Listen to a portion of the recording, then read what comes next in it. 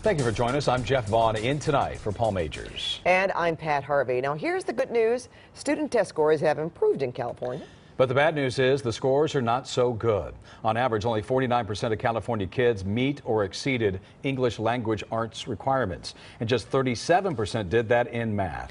This morning, the state superintendent of public instruction, Tom Torlakson, accentuated the positive by highlighting the improvements.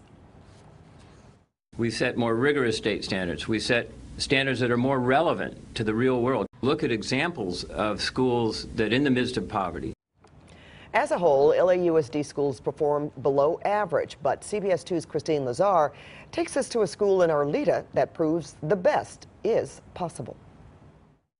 Who was the goddess in the story that we read about? When veteran teacher Kelly Neat first started teaching Common Core five years ago, she admits she wasn't sold on the new standards. When you're looking at what you are going to be putting in front of these students, you think that seems very challenging and difficult, especially at the third grade level. But now she says most of her students have caught on, even if their parents are still skeptical. People aren't, they don't love change. And so I think that's really hard for them. They think that, you know, the old way is always the best way to do something. Here at Vena Avenue Elementary School in Arleta, they've experienced one of the biggest improvements in their standardized test scores in LA Unified.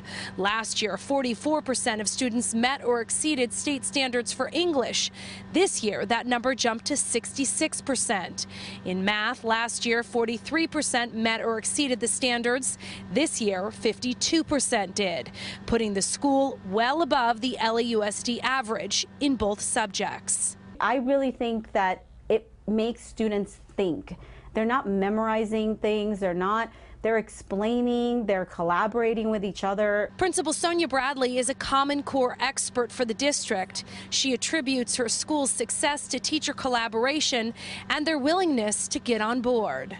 Another thing the principal did here to prepare her students was to invite their parents into the computer lab so that they too could take a sample of the standardized test you need to get the parents to understand what's expected of their children. The only way they're going to do that is if they actually take it for themselves. And the kids, too, are excited by their noticeable progress. 22% of Vena's students are English language learners, like Emily Ravello. It makes me really happy to know that I ended up in a school like this when people are so smart. In Arleta, Kristine Lazar, CBS 2 News.